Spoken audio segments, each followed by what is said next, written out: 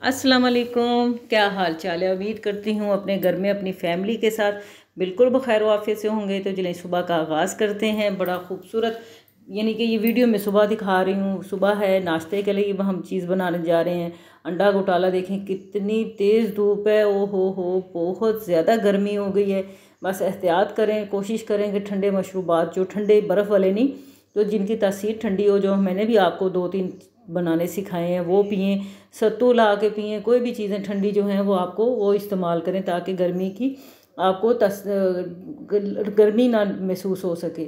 تو چلیں بسم اللہ کرتے ہیں، ناشتہ بنانے جا رہے ہیں، یہ انڈے لیے ہیں، میں نے چھ سے سات ہیں، کم زیادہ اپنی مرضی سے کر سکتے ہیں، ایک پیاز جائے گا اس میں، ادرک ڈالوں گی اپنے سسر کی یاد تازہ کرتے ہوئے، کیونکہ میرے سسر بہت شوق سے کھاتے تھے، بچے نہیں کھاتے، اس لیے کم ہی ڈالوں گی۔ نمک ہے، مرچیں ہیں، کٹی ہوئی مرچ ہے، زیرہ ہے۔ اور سکا دھنیا ہے اور ہلدی ہے۔ یہ سمپل مسالے اور کوئی اس میں مسالہ نہیں جائے گا۔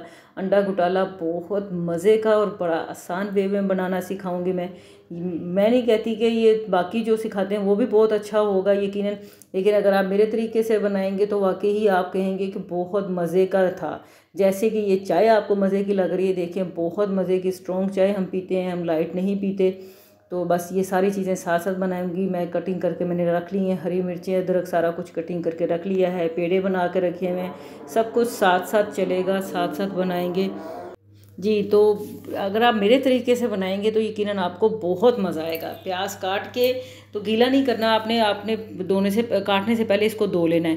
اور پھر بعد میں اس کو میں آئل گھی جو بھی ہے وہ تھوڑا سا زیادہ جائے گا۔ اس کو میں نے صرف ہلکا سا، صرف اس کا لائٹ پنک کلر کیا، سوتے کیا ہے۔ ساتھ ہی میں نے سارے مسالے اس میں ڈال کے اس کو ہلایا ہے۔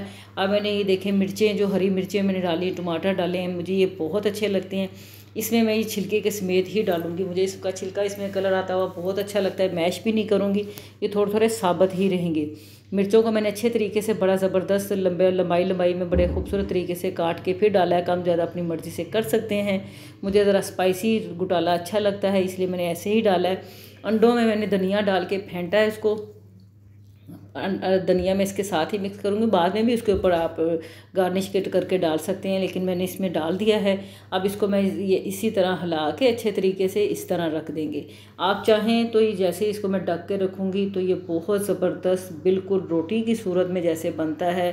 ثابت بنے گا، بہت زیادہ مزے کا۔ اس کے اوپر دیکھیں، میں نے ادرک، ہری مرچیں یہ گارنش کر دی ہیں۔ آپ چاہیں تو اس کے اوپر جو مٹر ہوتے ہیں یا کوئی بھی آپ ویجیٹیبل آپ ڈالنا چاہیں تو وہ کر سکتے ہیں۔ دیکھیں ہمارا یہ انڈا تقریباً پانچ منٹ ہو گئے آملیٹ بھی یہ بہت زبردست نیچے سے کوک ہو چکا ہے۔ اگر آپ نے اسی طرح ثابت رکھنا ہے تو اس کے اوپر کوئی اسی سائز کی پلیٹ رکھیں اور اس کو الٹا کے فرائی پین کو آپ اچھے طریقے سے زبردست مزے کا ایسے ہی پیزا شیپ میں پیش کر سکتے ہیں۔